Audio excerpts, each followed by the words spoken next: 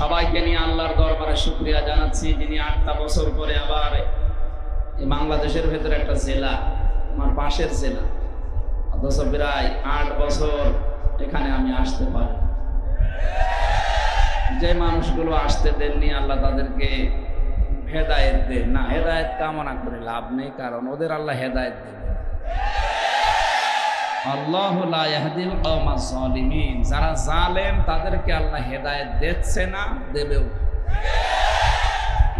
এটা মোজারে বর্তমান ভবিষ্যৎ, প্রেজেন্ট, ফিউচার।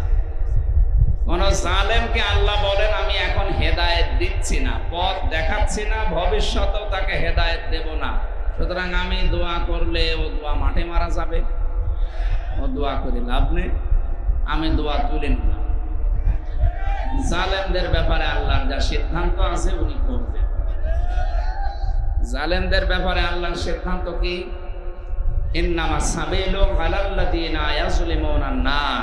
আল্লাহ বলেন, আমি নিজে জালেমদের বিরুদ্ধে মামলা দায়ের করব। সুতরাং জালেমরা আল্লাহর মামলার আসামি। কথা বলেন না কেন? এদেশে ষোলোশো আঠাশটা চেয়ার ছিল। যিনি পালিয়েছে তার থেকে শুরু করে উপজেলা চেয়ারম্যান যিনি এই কিছুদিন আগে ছিল, এখন বাতিল হয়ে গেছে, আমি নাম জানি না। সে যাই হোক। অনেক পর্যন্ত ষোলোশো আঠাশটা চেয়ার ছিল এ দেশে মেন চেয়ার। এই ষোলোশো আঠাশটা চেয়ারে যারা ছিল, এ বাংলার প্রতিটি মানুষ সাক্ষী দেবে যে তারা জালে। সে যেভাবে জুলুম করুক না কেন, তারা জালে। সুতরাং জালেম যারা, তারা হামজার মামলার আসামি না। ওরা সরাসরি আল্লাহর মামলার আসামি। আল্লাহ রব্বুল আলমিন একটা ক্লাস নিয়েছিলেন আদম আলাই সাল্লামকে তৈরি করার পর। এই, খুব গুরুত্বপূর্ণ বিষয়। ক্লাস নিয়েছেন সরাসরি কে? ছাত্র ছিলেন আমাদের আদি পিতা হজরত আদম নবী। খেয়াল করেছেন ক্লাস কত গুরুত্বপূর্ণ? সরাসরি শিক্ষক আল্লাহ নিজে ছাত্র, সাধারণ মানুষ না, নবী। হ্যাঁ মোবাইল সব সাইলেন্ট করে রাখেন এক ঘণ্টার পর আপনি ডক্টর ইউনুস না যে একেবারে খুব গুরুত্বপূর্ণ ক্ষতি হয়ে যাবে। হ্যাঁ ঠিক আছে। কে বলছিলাম বলেন তো ক্লাস চলছে। আল্লাহ নিজে শিক্ষক, ছাত্র, সাধারণ মানুষ না নবী? সুতরাং এই ক্লাসে যা দেওয়া হবে এটা অতি গুরুত্বপূর্ণ বিষয়। আমরা অনেকে এখানে যারা আলেম আছেন তাদেরকে বলছি, জন্মের পর থেকে আমরা শুনেছি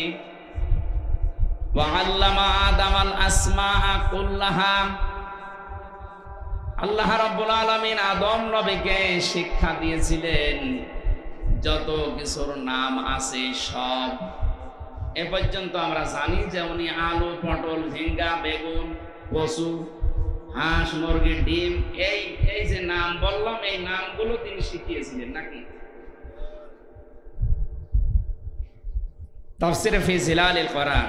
সাজ্জেদ কুতুব লিখেছেন, শুধুমাত্র যদি আলু, পটল, বেগুন, ঝাল, কদু এই নামগুলো শেখানো আল্লাহর উদ্দেশ্য হয় এত বড় গুরুত্বপূর্ণ ক্লাসে এ শিক্ষা দেওয়ার দরকার হয় না।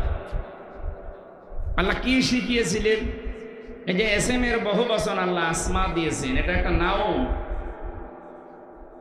পৃথিবীর নাম বলতে শুধুমাত্র এই যে আমরা যা বলি, যেগুলো নাম বললাম, এইটা না। সবচাইতে গুরুত্বপূর্ণ বিষয় আল্লাহ তাকে শিখিয়েছিলেন একটা ক্লাসে, কেয়ামত পর্যন্ত যত ন্যায় কাজ আছে এবং যত অন্যায় কাজ আছে, এ সবগুলো আল্লাহ এক ক্লাসে তাকে শিখিয়ে দিয়েছিল এই জন্যে আমরা যদিও ওই ক্লাসে ছিলাম না, কিন্তু আমাদের বাবার পক্ষ থেকে কেয়ামত পর্যন্ত যারা তার সন্তান হিসাবে আসতে থাকবে, তারা যদি লেখাপড়া নাও করে, তাদেরকে আল্লাহ এই দুইটা বিষয় দিয়েছে, কোনটা অন্যায়, কোনটা ন্যায় তারা জানে। কথা বলে না বিবেকের কারণে হয়তো মানতে পারে না, সেটা আলাদা বিষয়। কিন্তু ন্যায় কোনটা অন্যায় কোনটা এই এটা কি আমার ক্লাস করে শেখালে গেছে না আমাদের বাবার ক্লাস থেকে আমরা পেয়ে গেছি? সুতরাং এই বাংলাদেশে যতদিন পর্যন্ত সমস্ত ন্যায় কাজ প্রতিষ্ঠিত করা না যাবে, যত অন্যায় কাজ আছে এটা বন্ধ করা না যাবে, ততদিন পর্যন্ত আমাদের স্বস্তি নেই, শান্তি নেই, নিরাপত্তা নেই। আমরা চাই আদম নবীর যে ক্লাসে শিক্ষা, এটা আমাদের এই প্র্যাকটিক্যাল লাইফে আমরা ওই শিক্ষা বাস্তবায়ন করতে এই আমাদের সবচাইতে বড় বিষয় আমরা সত্যবাদিতা এবং ন্যায় পরায়ণতা এই দুইটা বিষয় সামনে অর্জন করার চেষ্টায় লেগে থাকবে। যতদিন পর্যন্ত সত্য বিষয় সামনে না আসবে এবং ন্যায় বিচার কায়েম করা সম্ভব না হবে, আমাদের চেষ্টা সাধনা, জিহাদ, যুদ্ধ, যাই বলে আমাদের এটা বন্ধ হবে না ইলা ইয়াউমিল কিয়ামা। যদি কিয়ামত পর্যন্ত সময় লাগে, তাও চেষ্টা চালাবো ইনশাআল্লাহ। এই কথা বুঝতেছেন? সুতরাং ওই ক্লাসে যা আমরা শিখেছি, এখনও আমরা যেহেতু ছাত্র, আদম সাল্লাম তিনি ছাত্র ছিলেন আমাদের বাবা। এ বাবার পক্ষ থেকে আমরা সন্তান হিসাবে এটা পেয়েছি। এটা যেন আমরা হারিয়ে না ফেলি। আজ আপনি অন্যায় জানার পরও অন্যায়কে অন্যায় মনে করেননি। সুতরাং এই ষোলোশো আঠাশটা চেয়ারে যারা ছিলেন, তারা তাদের এই চেয়ারের সাথে বিশ্বাসঘাতকতা করেছে। চেয়ারের সাথে আমানতের খেয়ানত করেছে। ন্যায়কে ন্যায় জানার পরও আপনি মানতে পারেননি। অন্যায়কে অন্যায় দেখার পরও আপনি কিছুই বলেননি। ক্লাসে যা শেখে, এটা যদি বাস্তবে এসে রূপ না দেয়, ও যদি ওই অনুযায়ী লিখতে না পারে, কেয়ামত পর্যন্ত একই ক্লাসে থাকা লাগবে, উপরের ক্লাসে উঠতে পারবেন না। এক ছাত্র এসে কাজ ছিল বাবার কাছে কি হয়েছে? পরীক্ষার রেজাল্ট দিয়েছে। পরীক্ষার রেজাল্ট দিয়েছে, কান্নাকাটির কি আছে? তুই ফেল করেছিস, না পাস? কথা বলছে। ধমক দিয়েছে, তুই ফেল না পাস? কথা বল এমন ধমক দিয়েছে, ওই, বলবি তো তুই পাস না ফেল।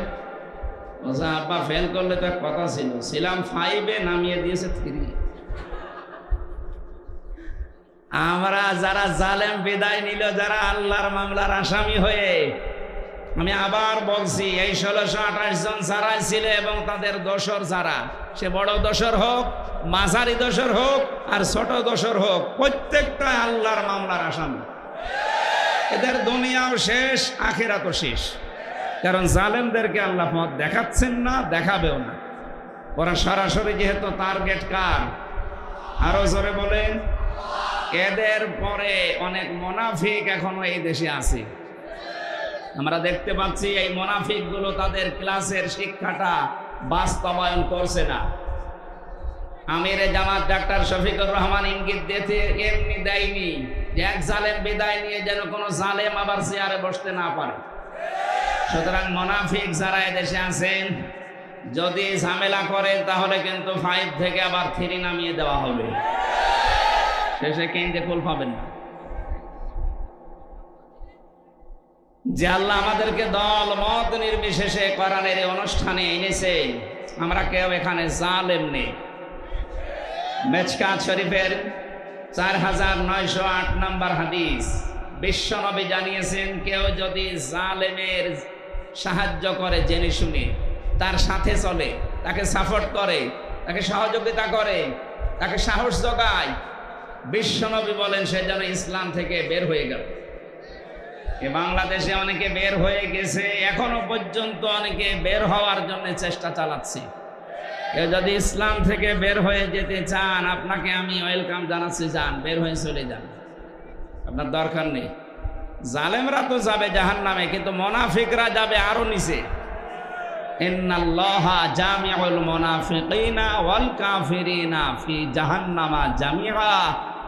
আল্লাহ বলেন, জাহান্নামী এখন একত্রিত করব। আগে কাফেরদের দেব, এর নিচে দেব মোনাফিকদেরকে। এই জন্য আমরা সাবধান বাণী উচ্চারণ করছি। জালেম নেই, আমি জানি, কিন্তু কিছু মোনাফিক এখনও আছে।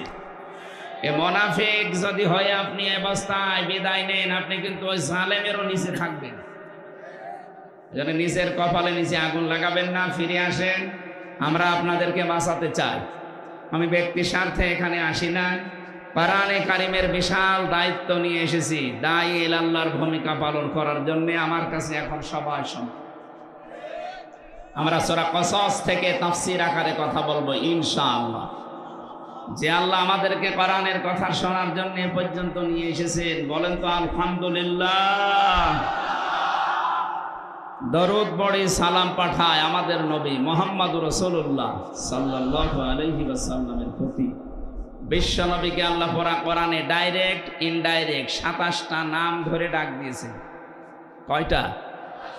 এর ভেতরে সাতটা নাম আমরা সবাই কম বেশি জানি। তার ভেতরে প্রথম নাম হচ্ছে ইয়াসিন। ইয়াসিন মানে? হে নেতা, শুধু নেতা নয়, ইয়া মানে হে, সিন মানে সাজ্জেদ এটা কিছুক্ষণ আগে সাইয়ে দিনা পড়লেন না? আল্লাহুম্মা সল্লি আলা মোহাম্মদ। হে আল্লাহ, তুমি রহমত নাসিল করো মোহাম্মদের উপরে।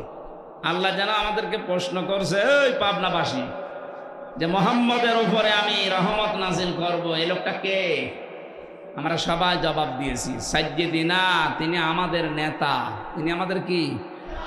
তিনি আমাদের কর্মী না, তিনি আমাদের চাকর না, তিনি আমাদের কি? নেতা। সাজ্জেদিনা তিনি আমাদের সকলের নেতা। এ ঘোষণা যখন এই মাহফিলে এসে দিতে পারলেন, এটা বাইরে যেও আপনাকে দেওয়া লাগবে। আর নিজের এই কথা যদি ঠিক রাখতে না পারেন, আপনি মোনাফিক, আপনি ওই জালেমদেরও নিচে থাকবেন। এখন নেতা এই শব্দটা দুনিয়ার বিষয় হলে আমি বলতাম না, এটা আখেরাতের সাথে সম্পর্কিত। কারণ যার নেতা ঠিক নেই, ওই মানুষটাকে আল্লাহ কেয়ামতের দিন ঘুরে দেখবে না। কারণ নেতাকে সেখানে দেবে, কর্মীকে সেখানে দেবে। এটা তো আমি বানালাম নাকি? না মানে?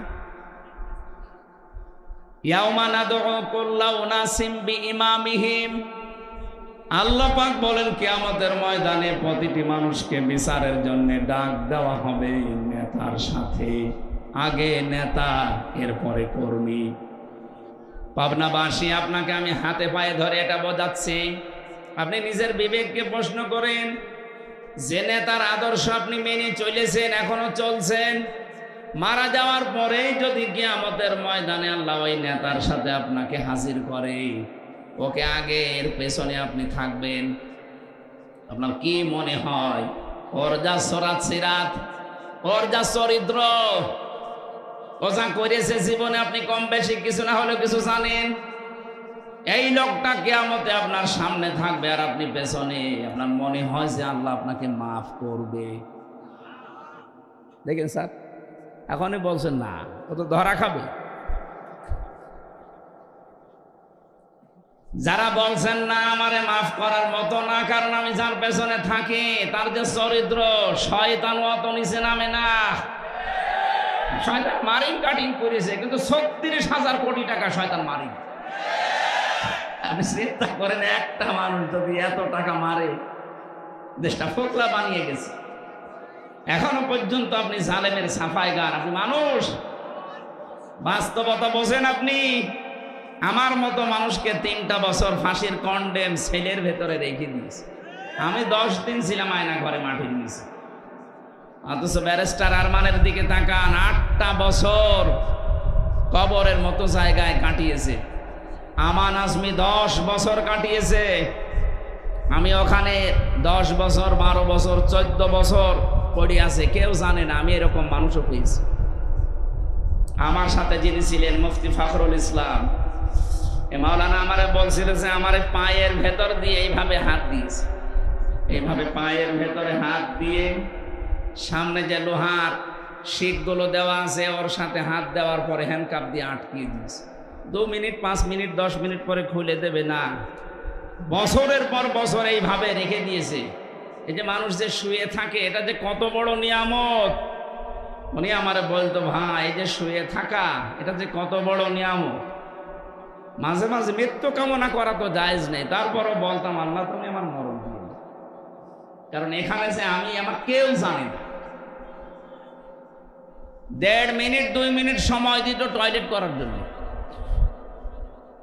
আরে ভাই, এটা যদি দুই দিন, পাঁচ দিন করে তো মানা যায়। আট বছর, দশ বছর, চোদ্দ বছর একটা লোকের সাথে এটা করলে মেনে নেওয়া যায়।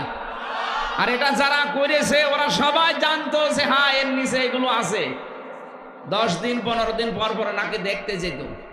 আমার তো চোখ বাঁধা থাকতো, আমি তো আর বুঝি না যাদের সে চোখ খুলে রেখেছিল কিন্তু হাত বাঁধা। এরা বলতো যে এসেছিল। বাংলার বন্ধু যিনি দাবি করেন, ওনার মেয়ে, এসে দেখে গেছে। তো এই যে আপনি এত বড় নিষ্ঠুর, আপনি কি মানুষের কাতারে পড়েন এই কাজ করে আপনি? এখনও পর্যন্ত বলেন যে আমি কি করেছি? আপনি কি করবেন আর আপনাকে এরকম চোদ্দ বছর না, আপনি হয়তো চোদ্দ দিন একটু থাকেন তো দেখি। চোদ্দ দিন থাকলে আমার মনে হয় টেনশনেই মরে যাবে। কয়েকদিন আগে একটা টেনশনে মরে গেছে না? সে পানি কন্যা না কি না সে হইল ও টেনশনে মরে গেছে। এইরকম বয়সী মানুষ আপনিও, আপনার এরকম চোদ্দ বছর, দশ বছর, আট বছর না, শুধু চোদ্দ দিন একটু আগে ও টেনশনে মরে এই জন্য আমার যতটুকু বাস্তবতায় আমি দেখে এসেছি, আমার তো মনে হয় এদেশের আঠারো কোটি মানুষ যদি আপনাকে মাফ করে দেয়, আমার ওই ছোট মেয়েটা ফারিহা আপনারে মাফ করবে না। ব্যারিস্টার আরমানের বউ আপনাকে মাফ করবে না।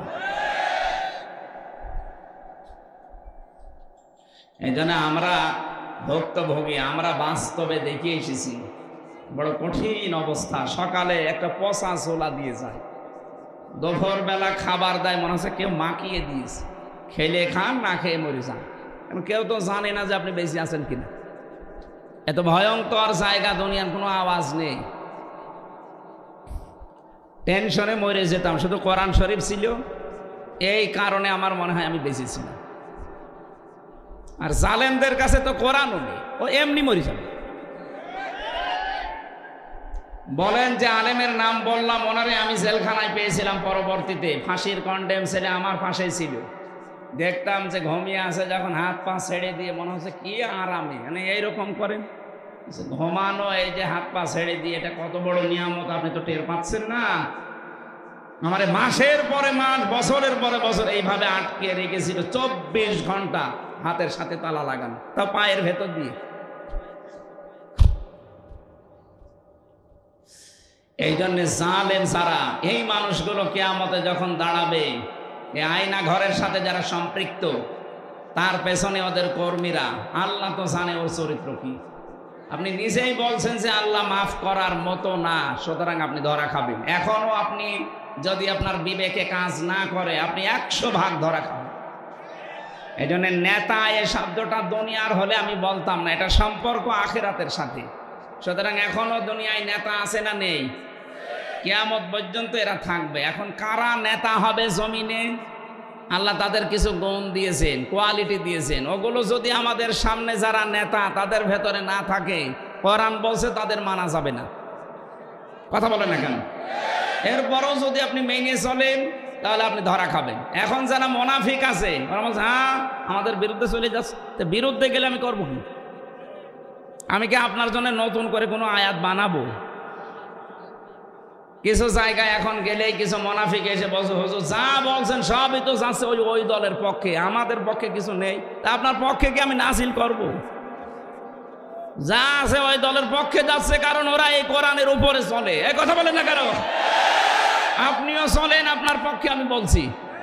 কারণ আমার পক্ষে তো আর বানানো সম্ভব না। নবীসিকে তাই আল্লাহ জানিয়েছেন যে বাদালা কবিল। কোরআনের ভেতরে নিজের কোনো কথা যদি বলেন যে, এইটাও আল্লাহ বলেছে, আপনার হাতের ডান হাত চেপে ধরে আমি কণ্ঠনালী কেটে ফেলে দেবো। এত বড় কঠিন হুঁশিয়ারি নবীর জন্য। সুতরাং আমি হামসা তো ধরা আর বাইরে। এই জন্য আমাকে আপনি বলতে বলল, আমি তো পারছি না। আমি পাবো কোথায় ওই আয়াত? যারা জুলুম করেছেন, তাদের পক্ষে বলার মতো কোনো আয়াত কোরআনে আছে? এখনও যারা সুদ খান, না এলাকায় সুদ নেই? আছে মানে ওই যে দশ হাজার টাকা ছেড়ে রাখে, মাসে মাসে এক হাজার টাকা দিয়ে যায়। বলেন সোবাহান আল্লাহ এই কাজে যারা আছেন, আপনি একেবারে সাফ ফতোয়া পরিষ্কার, আপনি মায়ের সাথে জেনা করছেন। এই কাজে আছেন এরকম একজন হাত তোলেন তো। একজন। ঠিক আছে। না না।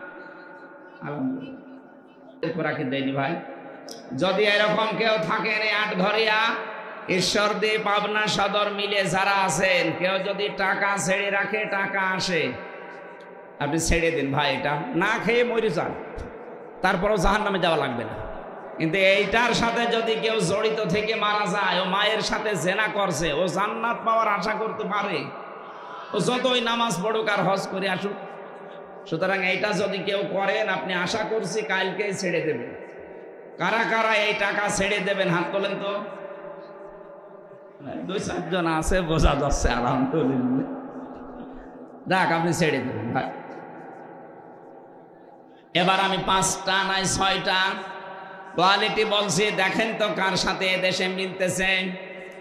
আল্লাহ পাক বলেন, এক নম্বরে নেতা হওয়ার কোয়ালিটি হচ্ছে, দুনিয়াতে তাদের জ্ঞান থাকা লাগবে।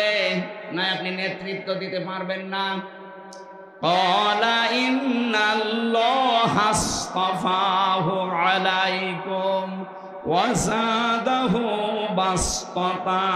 ফেলে ওয়াল জেস এলাকি আয় সূরা বাকারা 247 নম্বর আয়াতের মাঝের অংশে আছে। আল্লাহ বলেন, অবশ্যই তোমাদেরকে যদি নেতৃত্ব দিতে হয়, তাহলে প্রচুর জ্ঞানের অধিকারী হওয়া লাগবে এবং শরীর স্বাস্থ্য শক্তিশালী হওয়া লাগবে। এখন প্রশ্ন আসতে পারে, এদেশে যারা নেতৃত্বে আছে, এদের তো জ্ঞান আছে। জ্ঞান শুধু দুনিয়াবি জ্ঞান হলে হবে না। দুনিয়া এবং আখেরাত, উভয় জগতের জ্ঞান তাদের থাকা লাগবে। আপনি এবার সারা বাংলাদেশে মিলান, উভয় জগতের জ্ঞান আছে এরকম মানুষ। এদেশে নেতৃত্বে যারা আছে, তারা কম না বেশি? খুব কম।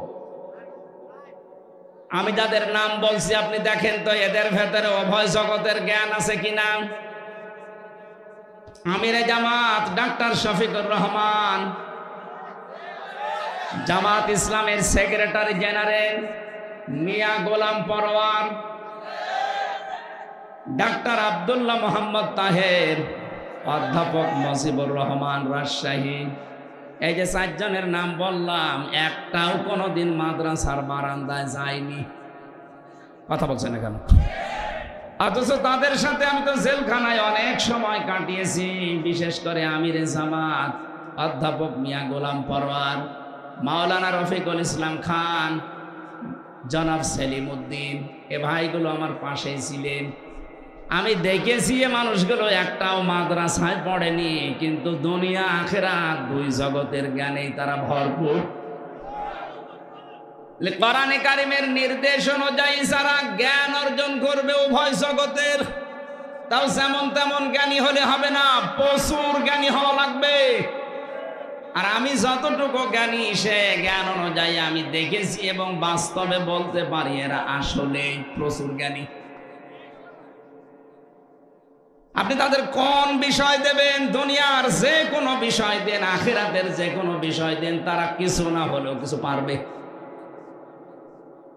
বাকি যারা নেতৃত্বে আছে, ওদের দুনিয়া বিজ্ঞান হয়তো আছে, আখেরাতের বিষয়ে জিজ্ঞাসা করবেন ওরা কানার মতো আচরণ করবে। কোরআনে কারিমের নির্দেশ তাদেরকে আপনি নেতা মানতে পারেন, যাদের উভয় জগতের জ্ঞান আছে এবং যারা শক্তিশালী আমিরে জামাতের বয়স চৌষট্টি থেকে পঁয়ষট্টি বছর, অথচ মনে হচ্ছে এখনও তিনি যুবক। তার দৌড়ানোর ভাব দেখেছেন? আজকে পাবনা, কালকে চট্টগ্রাম, এর পরের দিন রাজশাহী, এর পরের দিন আবার যাচ্ছে চাপাই নবাবগঞ্জ, এর পরের দিন আবার খুলনা, এর পরের দিন আবার কুষ্টিয়া। এত বয়সী মানুষটা এত কষ্ট সহ্য করতে পারে, শ্রম দিতে পারে। কোরআনের আয়াতের সাথে দুইটা বিষয় আমি দেখলাম মিলে গেছে। অগাধ জ্ঞানের অধিকারী তারা এবং প্রচুর কাজ করা মানুষ তারা। লাকাদ খলাকনাল ইনসানা ফি কাবাদ। আমি মানুষকে কষ্টের পরে কষ্ট সহ্য করার জন্য বানিয়েছি, যার বাস্তব এই চারজনের জীবনে পাওয়া যাচ্ছে। বাকি ওনাদের অনসারী হিসাবে সহকর্মী, সহযোদ্ধা যারা আপনি মিলান, তাদের ভেতরেও কম বেশি আছে। এর বাইরে যারা আছে, তারা যদি এরকম মিলাতে পারেন, আমি এখনই তাদের কাছে মরিদ হব। নিয়ে চলেন। কথা বলছেন এখন দ্বিতীয় নম্বরে বলছে, যারা নেতৃত্ব দিতে চান, কোরআনে কারিম জানিয়েছে, তারা মহিলা হতে পারবে না। এবার কিছু মানুষ আছে চুলকানি আরম্ভ হবে। এটা আমি বানালাম। সোরা নেশা পাঁচ নাম্বার পাড়ার দুই নাম্বার পৃষ্ঠা, এগারো নাম্বার লাইনে।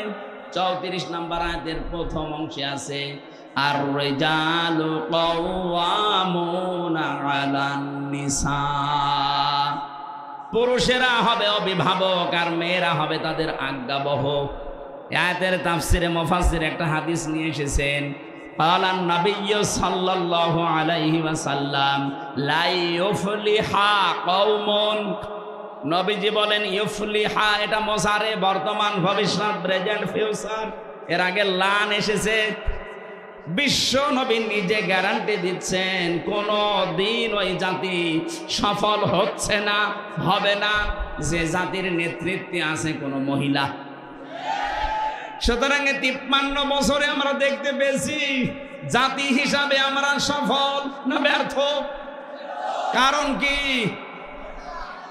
সুতরাং আমরা চাই কিয়ামতের আগে দেশে চেয়ারে যেন কোনো মহিলা না হতে আপনি যতই কিছু করেন না কেন, সফল হতে পারবেন না। এই ঘোষণা হামজার। কার? আরও জোরে। আরও জোরে বলেন। সুতরাং যারা মহিলা আছে তারা নেতা হতে পারবে না। এরকম কোন দল যদি থাকে, আমরা সেখানে যেতে পারি না। কোরআনের নিষেধ। এরপরও যদি আপনি এরকম কিছু করেন, আপনার বিবেকের ওপরে ছেড়ে যা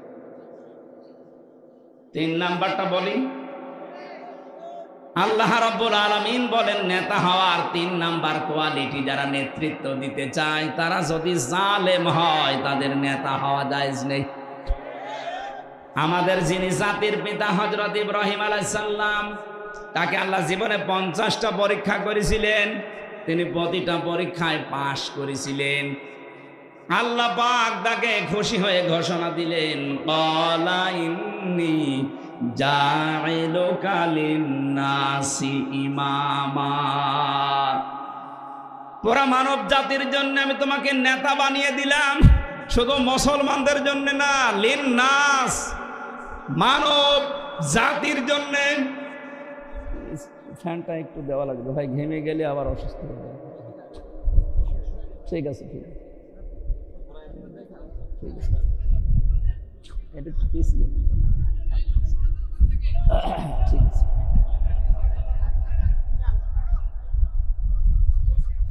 পাবনা বাসে।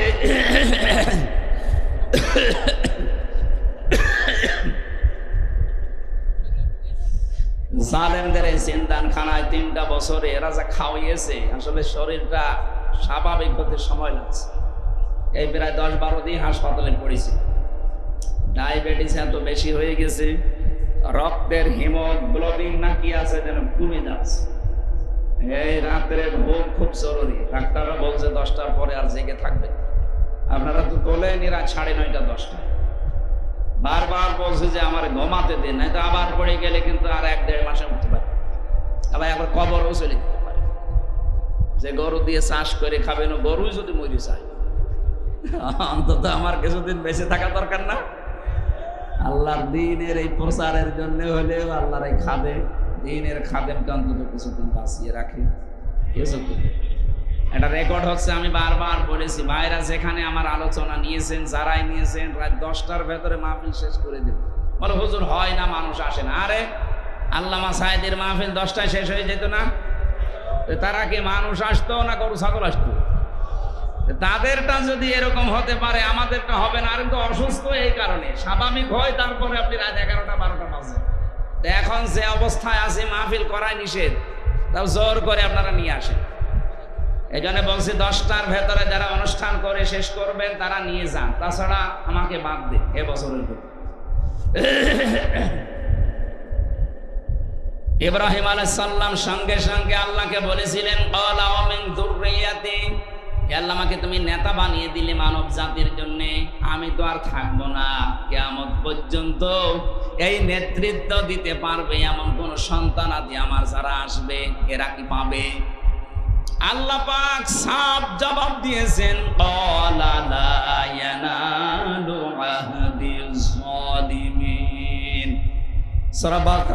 বাকারা একশো চব্বিশ নম্বর আয়াতের শেষের দিকে আছে।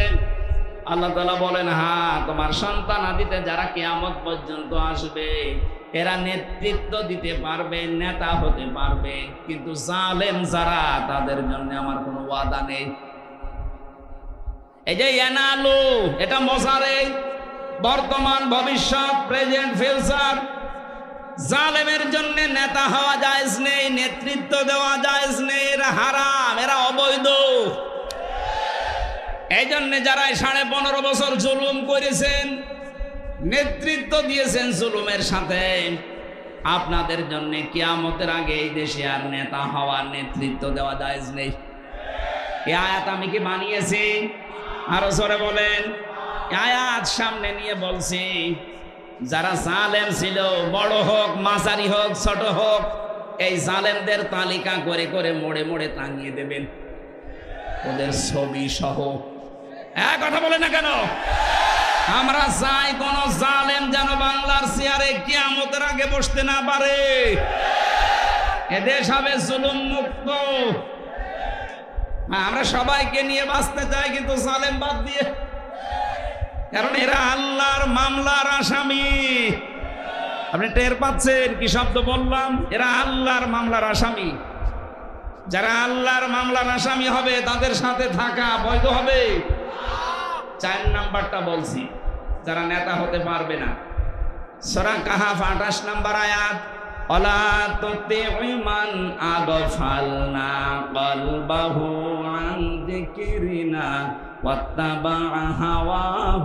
কানা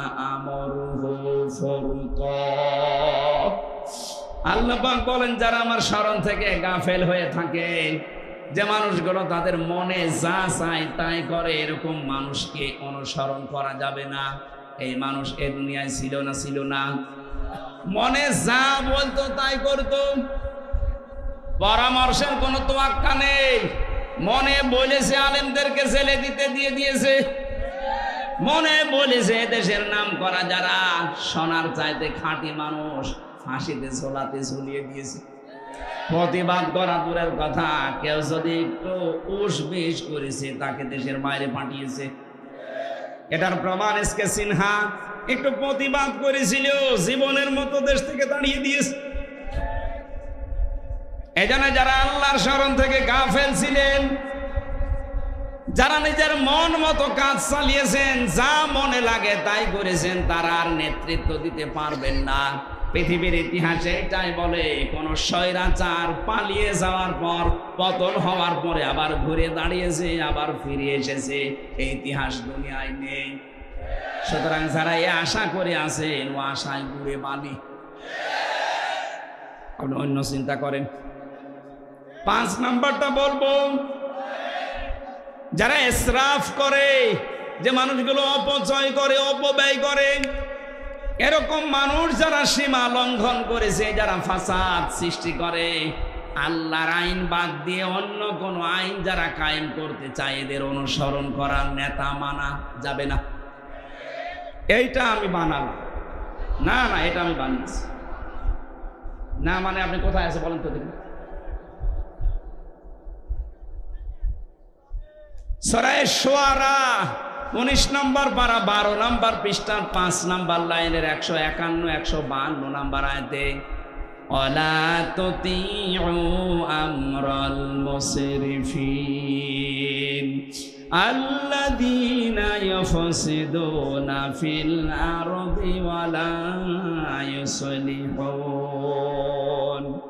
রাব্বুল আলমিন জানেন, যারা ইসরাফ করে, অপব্যয় করে, অপচয় করে, তাদের অনুসরণ করা যাবে না।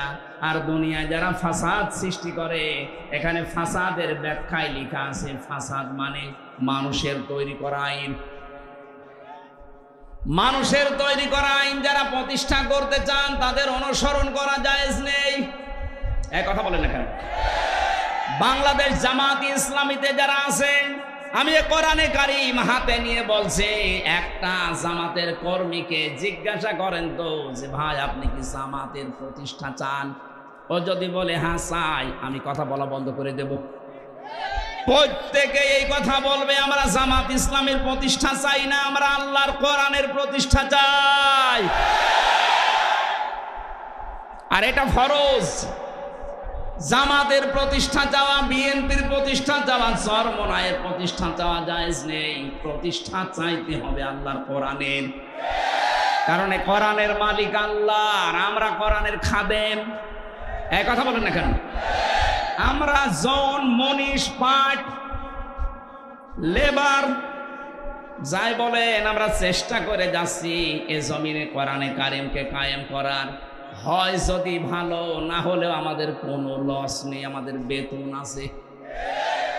বিকাল পাঁচটা পর্যন্ত যদি আমি কাজ করি জমিনে, মালিক যেমন আমার বেতন দিয়ে দেবে পাঁচটায়, যেহেতু জমিনের আসল মালিক আল্লাহ আমরা তার খাদেম।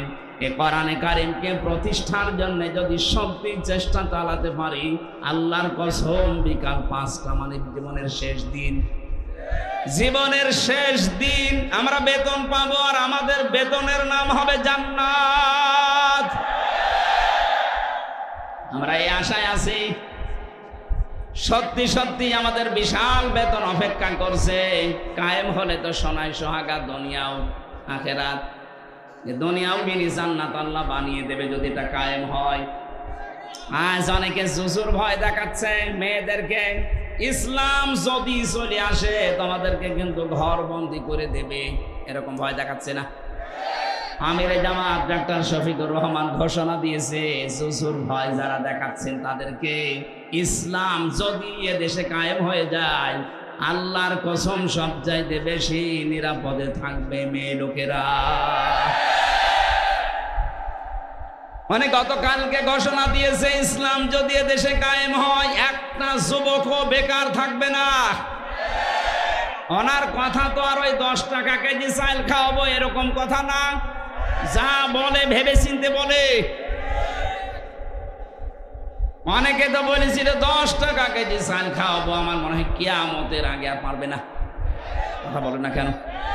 উনি যে বলেছে, গতকালকে এদেশে যদি সত্যি ইসলাম কায়েম হয়, প্রতিটি যুবকের কর্মসংস্থান তৈরি হবে, একটা যুবক বেকার থাকবে না। ওনার এই কথাকে আমরা বাস্তবে একটু রূপ দিতে চাই, দেখি ওনার কথাটা ঠিক থাকে কিনা। হ্যাঁ কথা বলে না কেন? কিছু কিছু মানুষ বলছে, হুজুর, ইসলাম যদি চলে আসে, আমি একটু আকিস বিড়ি খাই, তখন আমার কি হবে? অসুবিধা নেই। আপনি একটু ডাইল খান, একটু বাবা খান, একটু লাল পানি খান। আপনার অসুবিধা নেই, আপনি খেতে পারবেন। হ্যাঁ খেতে পারবেন আরে ভাই, আপনি মসজিদে যদি প্রবেশ করেন, মসজিদের যে পরিবেশ, আপনার মনে করেন বিড়ির নিশা। সত্যি করে বলেন তো, মসজিদের এই চার দেওয়ালের ভেতরে আপনি বিড়ি ধরাতে পারবেন। বলেন বলেন। কেন? কারণ পরিবেশটা ওই রকম ইসলাম ওখানে আছে এই জন্য পরিবেশটা আল্লাহ পুরা জান্নাত বানিয়ে দিয়েছে। ছাপ্পান্ন হাজার বর্গ মাইলে যদি ইসলাম চলে আসে, পুরা দেশটা হয়ে যাবে মসজিদ। আপনি যে বিড়ি খাবেন, আপনি যে ডাল খাবেন, আপনার জীবনে মনই আসবে না যে ডাল খাই। তাই বলে মসুরের ডাল খাবেন না, তা খাবেন। ওই যে ওই ডাল। এজন্য এই সমস্ত ভয় যারা দেখাচ্ছেন এই ফাসাদ সৃষ্টি করছেন মানুষের তৈরি করা, আইন আবার কায়েম করার চেষ্টায় আছেন। আপনাদের অনুসরণ করা জায়েজ নেই। আপনাদের নেতা হওয়া জায়েজ নেই। এটা সুরা সুয়ারা একশো বাহান্ন নাম্বার আয়াতের মাঝে আল্লাদিনা যারা ইফসিদুনা ফিল আরদি, জমিনে যারা ফাসাদ সৃষ্টি করছে, এতদিন যারা করেছেন তিপ্পান্ন বছর মানুষের তৈরি করা আইন কায়েমের জন্য, আপনারা যে ফাসাদ সৃষ্টি করেছেন তার প্রমাণ নিজের মেয়ের নামে টাকা পাচার, ছেলের নামে টাকা পাচার, বোনের নামে টাকা পাচার। যদি আল্লাহর করণের বিধান থাকতো, এগুলোর সব হাত কাটা হয়ে যেত। একটারও হাত থাকতো না। অলা ইসলিহন এবং যারা সংশোধন চায় না, যারা দেশের শান্তি প্রতিষ্ঠা করতে চায় না, তাদের অনুসরণ করা যায় নেই। ছয় নাম্বার পয়েন্টে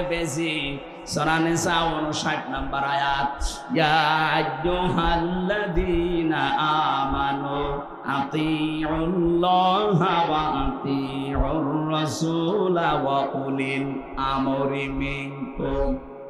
আল্লাহ বলেন, হে ইমানদারেরা আমার আনুগত্য করো, আমার রাসূলের আনুগত্য করো। আর তোমাদের ভেতরে যারা নেতা, উলিল আমর, তাদেরকে তোমরা মেনে চলো।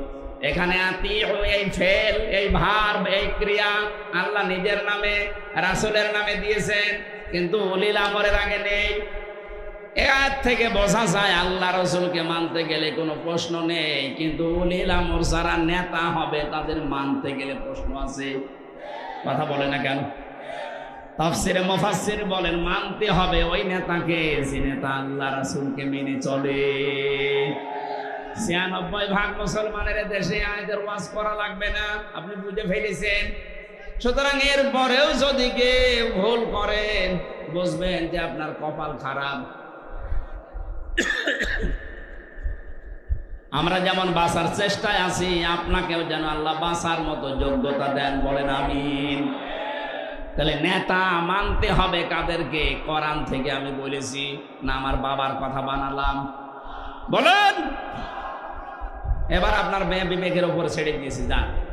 এরপরও যদি কেউ মানতে না পারেন, দুনিয়ার কোনো স্বার্থের দিকে তাকিয়ে, আমি ডাইরেক্ট ফতোয়া দিলাম যে আপনার বিবেকের উপরে কুকুরে পোশাক করেছে। তারা সরাসরি যাচ্ছে। কারণ আমার গলায় মনে হয় পারবে না বেশিক্ষণ। তাড়াতাড়ি করছে। আসল অর্থ জানে আল্লাহ। কিছু কিছু মফাসরিন ইকরাম একটা অনুমান ভিত্তিক অর্থ দিয়েছেন, আমরা ওদিকে গেলাম না। তিলকা আয়াতুল কিতাবিল মুবিন। আল্লাহ বলেন এই আয়াতগুলো সব স্পষ্ট কিতাবের আয়াত। এই যে কোরআনে কারিম আল্লাহর এই কিতাব আমাদের কাছে স্পষ্ট না অস্পষ্ট? না।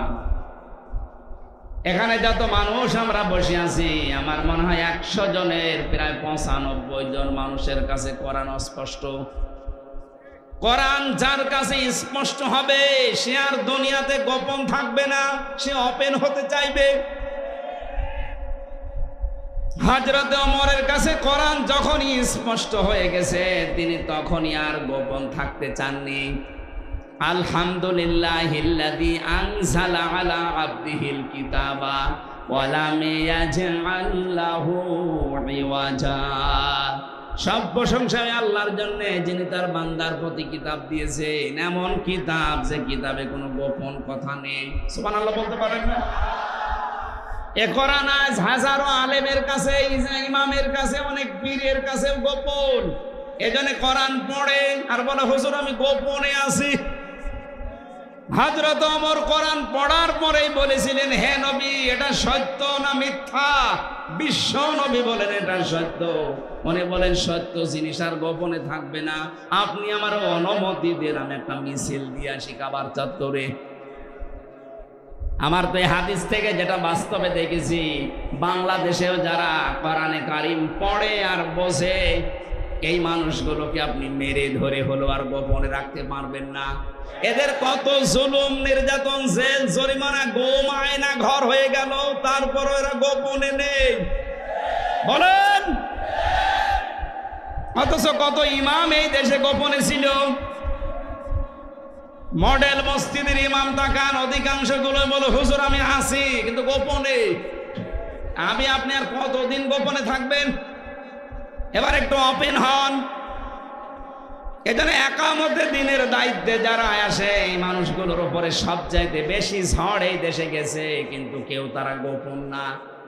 কারণ একামতে দিনের দায়িত্ব যদি কেউ পালন করতে যায় পড়া কোরআনটা তারে বুঝে পড়া লাগে। কথা বলেন না কেন?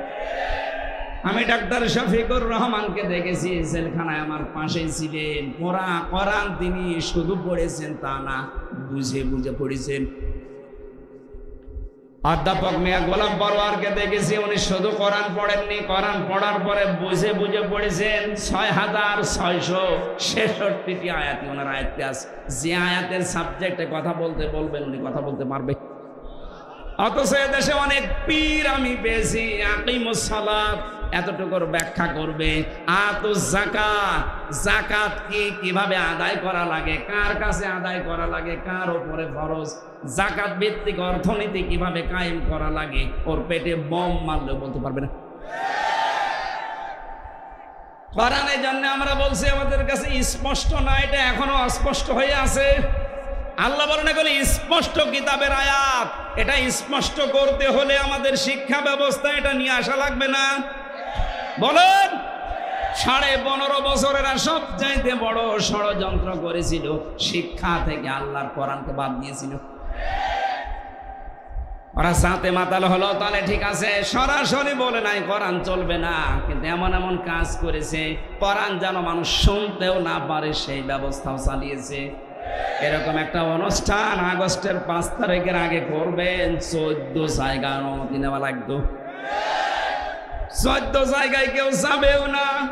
অনুমতিও নেবে না। শেষে বলবে যে, মমতাজকে নিয়ে আয়, ফাইটটা জায়গা আনতে। এজন্য আমরা এটা স্পষ্ট করতে চাই জাতির কাছে যে, এর ভেতরে যা আছে, কোনো গোপন কথা নেই, কোনো মারেফতের কথা নেই। আজ কত আল্লাহর অলির নাম নিয়ে, মারেফতের নাম নিয়ে গাঁজা খাচ্ছে লালনের মাজারে। আমি তো বাংলাদেশ সহ বিশ্বের বহু জায়গা ইতিহাস পড়ে দেখেছি। পৃথিবীর কোন দেশে, কোন প্রদেশে, কোন জেলায়, কোন থানায় গাঁজা খায় আর পুলিশ পাহারা দেয়, পৃথিবীতে নেই, শুধু কুষ্টিয়ায় আছে। গাঁজা খায় আবার পুলিশে পাহারা দিচ্ছে, বাবা, খা, আমরা আসি আমার আফসোস, আমার এই জেলাটার জন্য প্রকাশ্য গোনা চলছে, বিশেষ করে শিরিক। মানুষ বেশিরভাগ যে লালনের মাজারে সেজদা দিচ্ছে।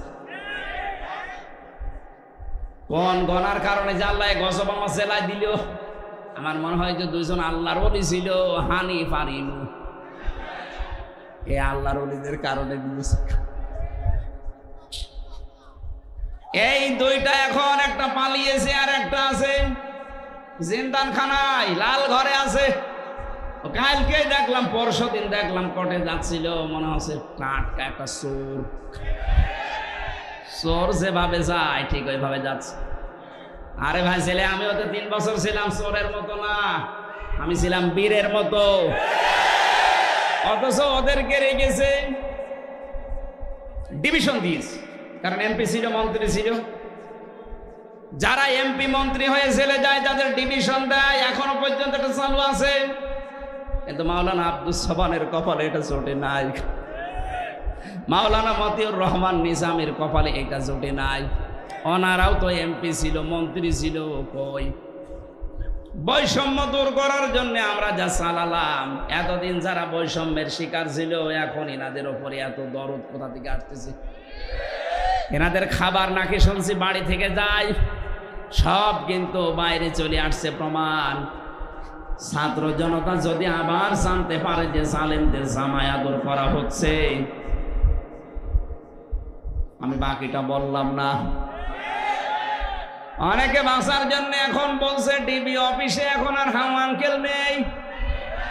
কি আঙ্কেল? How uncle? ওখানে উনি নেই। ওই জায়গায় যেন আয়না ঘর আর থাকবে না, ভাতের হোটেল থাকবে না, কাউকে এসে গুম করা হবে না, যাকেই ধরা হবে, তার পরিবারকে আগে জানানো হবে। এটা আগের থেকে বলেননি কেন? আমার পরিবার তো কয়েকদিন জানেই না যে আমি কোথায় আছি। আর এদেরকে ধরার পরে দেখছে জামিন দিয়ে দিচ্ছে, অথচ মার্ডার মামলার আসামি। হ্যাঁ কথা বলছে না কেন? সবচাইতে বড় দুর্নীতির সাথে এবং এই মার্ডারের সাথে যারা জড়িত শেখ পরিবারের একটা মানুষ এখনও ধরা পড়েনি। কোথায় আছে তারা? যেখানে থাক না কেন এদেরকে আইনের আওতার আনতেই হবে। সতেরোশো আশি জন মানুষকে হত্যার সামিলেরা, গণহত্যার সাথে এরা সামিল। আঠাশ, সাতাশশো আশি জন মানুষ এখনও হাসপাতালের বেডে। কেউ পা হারিয়ে, কেউ হাত হারিয়ে, কেউ নাক হারিয়ে, কেউ অন্ডকোষ হারিয়ে কাতরাচ্ছে। আগস্টের পাঁচ তারিখের পরে ছয় তারিখে গিয়েছিলাম কুষ্টিয়ার সদর হাসপাতালে। যেয়ে দেখি কারও হাত নেই, কারও পা নেই, কারও চোখ নেই, কারও অন্ডকোষ উড়ে গেছে। কত মানুষ চোদ্দ জন আমার সামনে মারা গেল কুষ্টিয়ায়। পরের দিন আরও দুইজন, ষোলো জন। আমিরে জামাত প্রতিটি পরিবারকে দুই লক্ষ করে টাকা দিয়ে একটু সান্ত্বনা দিয়েছি মাত্র। এদেশে টাকাওয়ালা মানুষ আর নেই। কোথায় আছেন আপনারা? যাদের জন্য আজকে স্বাধীন হতে পারলেন, তাদের পরিবারগুলো আজ খবর নেই। খালি দলীয় চিন্তা নিয়ে আছে এনারে শহীদরা কোনো দলের না, ওরা দেশের জাতীয় সম্পদ। একাত্তর সালে শহীদদের যদি এত মর্যাদা দেওয়া হয়, ভাতা দেওয়া হয়, চব্বিশের শহীদদেরও ভাতার ব্যবস্থা করেন। ওরা যেন পরিবার, সমাজ এবং রাষ্ট্রের কাছে বোঝা হয়ে না থাকে। যত কোটি টাকা মারিং কাটিং করে পাঠিয়েছেন, টাকাগুলো সব নিয়ে আসেন। টাকা যদি নিয়ে আসতে না পারেন, ওদের বউ, ছেলে, মেয়ে সব কাজে লাগান। দরকার হয় নিলামে তুলে দেন, দেখি কয় টাকার মেয়ে, ছেলে আছে, নিয়ে আসেন। একটাও ছাড় নেই, সব কাজে লাগানো হবে রাষ্ট্রের কারণ এইগুলো তো জালেমদের দোষর।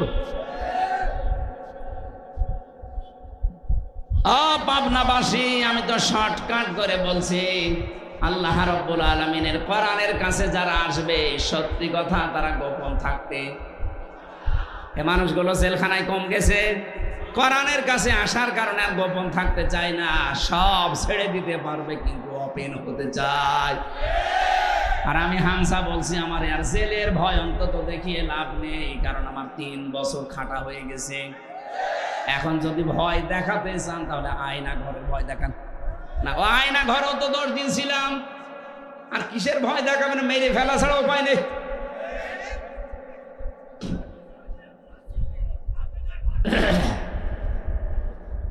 স্পষ্ট কিতাবের কথা এবার শোনাচ্ছি। একটু শুনলেই হবে ভাই, একটু শুনুন। আল্লাহ পাক বলেন, আমি তেলাওয়াত করে শোনাবো তোমাদেরকে। এই তেলাওয়াত এখন যা হবে, এটা হামজা করছে না আল্লাহ করছে? যদি বলেন, না হামসার মুখ দিয়ে, আরে ভাই, আমি অ্যাডভার্টাইজ করছি। আপনি যদি জানতেন, আপনাকেও দিয়ে আল্লাহ এভাবে অ্যাডভার্টাইজ করাইতো। নাতুলু আলাইকা মিন নাবাই মুসা ওয়া ফিরআউনা বিল হাক্কি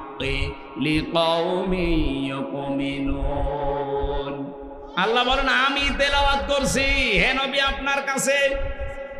মিন নাবাই মুসা ওয়া ফিরআউনা বিল হক সত্যভাবে, যথাযথভাবে মোসার ফেরাওয়ানের কাহিনীটা বিশ্বাসী সম্প্রদায় যারা, তাদেরকে আপনি শোনাবেন। এখন যদি নবী থাকতেন, পাবনাবাসী নবী এসে এই কাহিনী আপনাদের শোনাতেন। নবীজি নেই, আমি নায়েবে রসুল হিসাবে এবার আল্লাহর এই তেলাওয়াত করাটা শোনাবো। আপনি দেখবেন খাপের খাপ মিলে যাচ্ছে এই বাংলাদেশের সাথেই।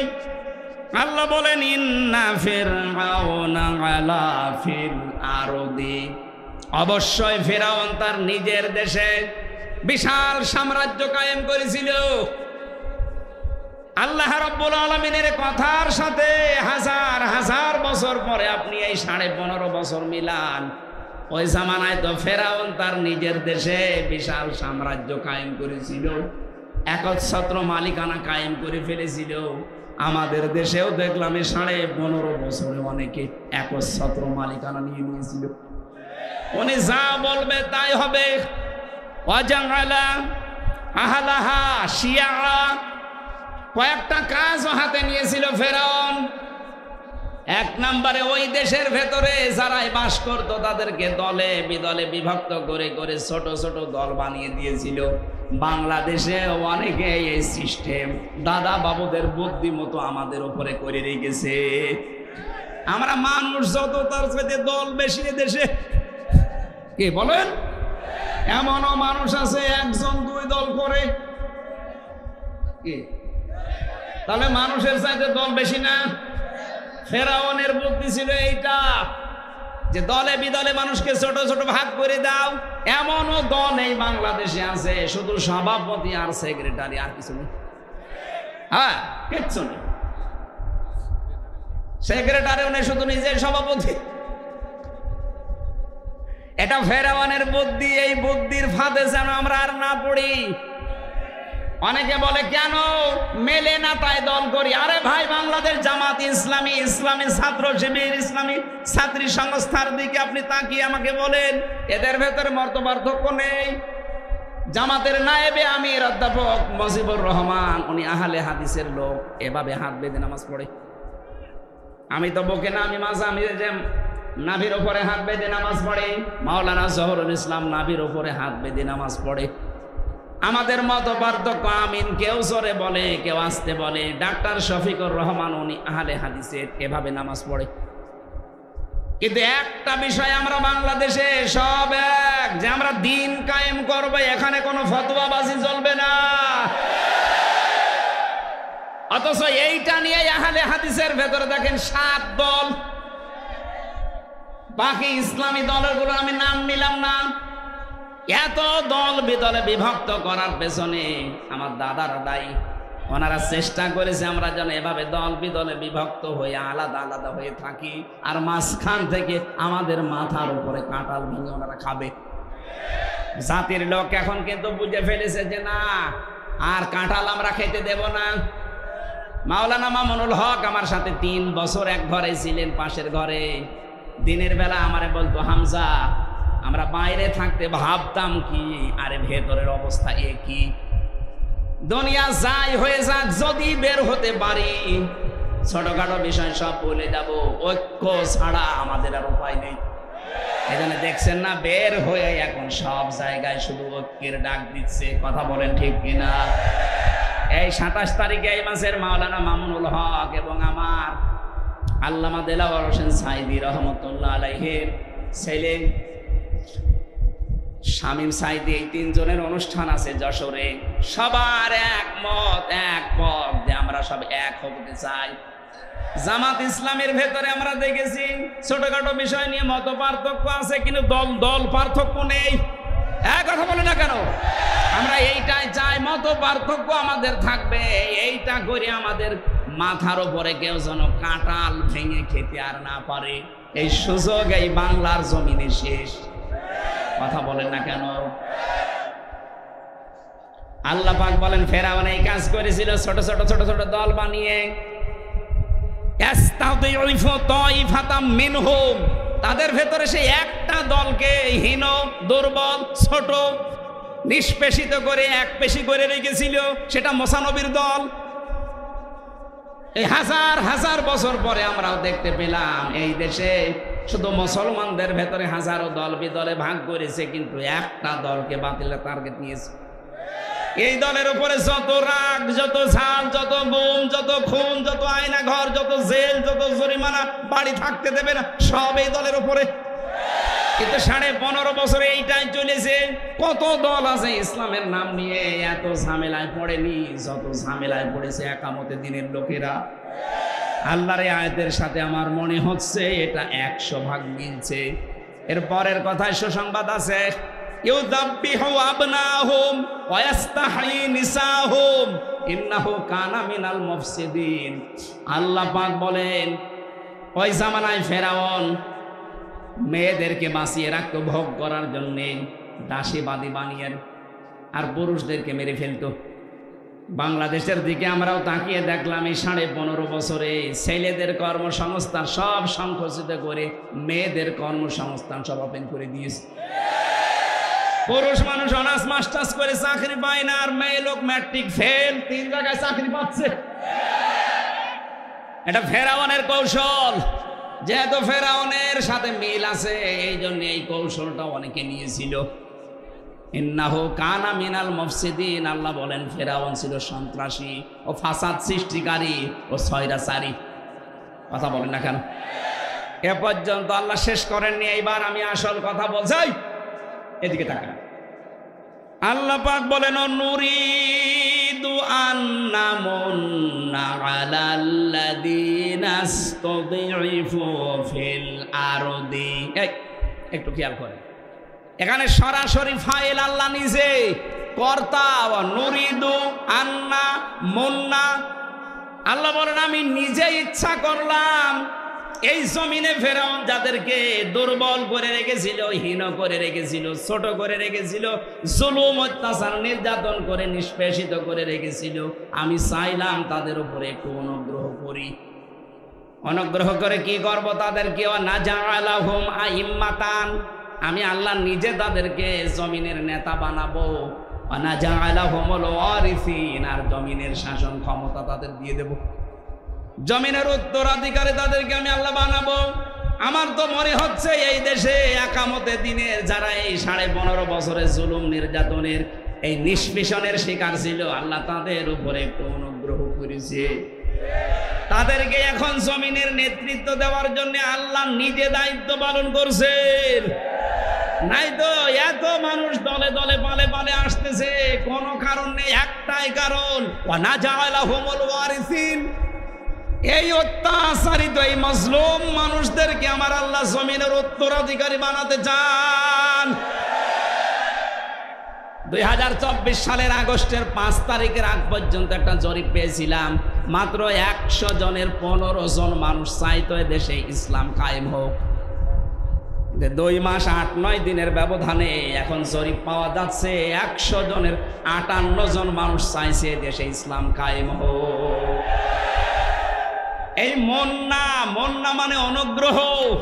আল্লাহ যেহেতু নিজে অনুগ্রহ করবেন বলছেন, এর পরের আয়াতে আল্লাহ বলেন অনুমাক্কিন আলাহুম ফিলার আমি জমিনের শাসন ক্ষমতা তাদেরকে দেব, আর এটা সামনে আমরা দেখতে পাচ্ছি। একশো জনের আটান্ন যখন হয়ে গেছে, আমাদের আর চিন্তা নেই, বাকিটা আমার আল্লাহ করবেন। কথা বলেন না কেন? আগেরটাও করেছে কে? আল্লাহ। কারণ নুরিদু আমি নিজে ইচ্ছা করলাম জমিনের ভেতরে ওই দুর্বল দলকে আমি আল্লাহ শাসন ক্ষমতায় বসিয়ে দিলাম। আপনি নিজেই বলবেন যে সম সব চাইতে বড় দুর্বল করে রেখেছিল এই সাড়ে পনেরো বছরে এদেশে যারা একামতে দিনে দায়িত্ব পালন করে। তাদেরকে গুম, খুন আয়না ঘর জেল, জরিমানা, আন্দাজে দিয়ে দিয়ে একেবারে দেওয়ালের পিঠ থেকে গিয়েছিল। আল্লাহ বলেন, কেন এগুলো করব জানো? অনরিয়া ফির আউনা ওয়াহামানা অজনুদাহুমা মিনুহুম মা কানু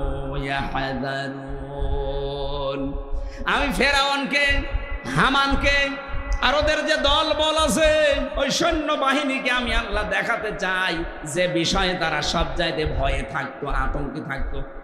এ সাড়ে পনেরো বছরে কত ইসলামের নাম বলা লোক আছে কারও বাধা বিপত্তি দূরের কথা কাউকে নিয়ে বাতিলের ভয় ছিল না। একটাই ভয় ছিল এই দেশে যারা দিন কায়েম করতে চায় তাদের। সুতরাং আপনারা যারা ভয় করতেন, আল্লাহ ওইটা উল্টিয়ে দেবেন। আল্লাহ দেখতে চান, আপনারা যার ভয় করেছেন, যারা আশঙ্কা করতেন, এরা যদি আসে, তাহলে সব উল্টিয়ে যাবে। সেটাই আল্লাহ দেখাবে। আর দেখানোর রাস্তা সামনে তৈরি হয়ে গেছে। আমরা যদি ছোটখাটো কেউ মোনাফিক থাকি, এটা ছেড়ে দিয়ে যারা দিন কায়েমের রাস্তায় আছে, আল্লাহ যেটা চাচ্ছে আপনি বাধা দিয়েও পারবেন না। চায় তাই তিনি করবেন এই কথা বলেন না কেন? সুতরাং বাধা দিয়ে যেহেতু মারা যাবে না, ফিরে নিজের কপালে আগুন লাগাবেন না। সামনে আমরা দেখতে যাই এই দেশে কালেমার পতাকা পথ পথ করে উঠছে তরানের পাখি যতগুলো স্বপ্ন দেখেছিল, সব আমরা দেখতে পেলাম বাস্তব। উনি বলেছিলেন, এই দেশে জালেমরা ইঁদুরের গর্থ পাবে না পাচ্ছে না। এক কথা বলে না কেন? উনি বলেছিলেন, বারো কোটি মানুষে শুধু ঝাঁকা দেবে, গোড়া ধরে দিল্লি গিয়ে পড়বা। ঠিক তাই বলিস। ওনার আর একটা স্বপ্ন ছিল, জালেমদের নাকের ডগায় কালেমার পতাকা দেশে পথ পথ করে উঠবে। এই স্বপ্নটা সামনে বাকি আছে। আমরা এই স্বপ্নটা বাস্তবায়নে করতে চাই। এবান্ন বছর তো বাবা চালালো, স্বামী চালালো, চাচা চালিয়েছে, ভাবি চালিয়েছে ববু চালিয়েছে। এখন শুধু বাকি আছে এইটা দিয়ে চললে কেমন দেখা যায়? কথা বলেন না কেন? আমার বড় ইচ্ছা জীবনে সব চাইতে বড় স্বাদ যে কোরআনে কারিম দিয়ে দেশ চললে কেমন দেখা যায়? এটা একটু দেখে মরতে চাই। আল্লাহ, তুমি আমার স্বপ্ন সাতটা পূরণ সত্যি কথা বলছি, এটা যদি কায়েম হয়ে যায়, আর আন্তর্জাতিক যে ষড়যন্ত্রগুলো চলছে, এটা আমার আল্লাহ দেখবে। আমরা শুধু আমাদের ইমানের উপরে টিকে থাকার চেষ্টা চালাই। ওয়ালা তাহিনু, ওয়ালা তাহজানু ওয়ান্তুমুল আলাউনা। কোনো ভয় নেই, কোনো চিন্তা নেই। বিজয় আমরাই হব যদি আমরা মুমিন হতে পারি। সুতরাং বিজয় দেওয়ার মালিককে, মমিন হওয়ার মালিককে, এই, মমিন আল্লাহ হবে, আল্লাহ তো মমিন আছে। আমরা আব্দুল মমিনরা মমিন হতে চাই। কথা বলেন? আমরা যদি মমিন হতে পারি, বিজয় দিবেন কে? ওই রকম মানের মমিন আমরা হতে চাই। শুধু আল্লাহর আইন চাই, সৎ লোকের শাসন চাই, এই স্লোগানে হবে না। আল্লাহর আইন চাই, সৎ লোকের শাসন চাই এবং সৎ লোক তারা যোগ্যতা সম্পন্ন হওয়া চায় আরে যোগ্যতা সম্পন্ন করে গড়া তোলার জন্যই বাংলাদেশ জামাত ইসলামী ইসলাম ছাত্র শিবির, ছাত্রী সংস্থা আপনাকে যোগ্য করে গড়ে তুলবে। আপনি তাকান এদের ভেতরে যে যোগ্যতা আছে, যেখানে লাগাবেন সেখানে লাগবে। বিচার ব্যবস্থায় নিয়ে যান, ঠিক এদের লোক আছে। এক কথা বলছে না কেন? শিক্ষা ব্যবস্থায় নিয়ে যান এদের লোক আছে ওই রকম যোগ্যতা সম্পন্ন লোক বোঝে না তা এরকম না। আন্তর্জাতিক যে রকম যে কোনো পরিস্থিতি মোকাবেলা করার জন্যে কথা দিয়ে হোক, বুদ্ধি দিয়ে হোক, এরকম মানের লোক এই দলে আছে। আপনার বিশ্বাস না হলে আপনি তাকান অধ্যাপক মিয়া গোলাম পরোয়ার কয়েকদিন আগে জাপান, এখন চীন সফর করছে। ওখানে গেলে তখন বাংলায় কথা চলবে না, কথা বলা লাগবে ওদের ভাষায় নাই, আন্তর্জাতিক ভাষা দিয়ে। এমন আর একটা দল দেখান, যে দলের লোকেরা বাইরে গেলে ইংরেজিতে টকিং করে তাদের বোঝাতে পারে, দেখান। ডাক্তার আবদুল্লাহ মোহাম্মদ তাহেরের দিকে তাকান। বাইরের দেশের মেহমানরা আসলে তিনি টকিং করে কথাগুলো বোঝাতে পারে সেই যোগ্যতা আছে না নেই। যেহেতু সৎ এবং যোগ্য তারা, আল্লাহ যেন তাদেরকে দিয়ে এই জমিনে কোরআনটা কায়েম করে দেয় বলেন, আমিন।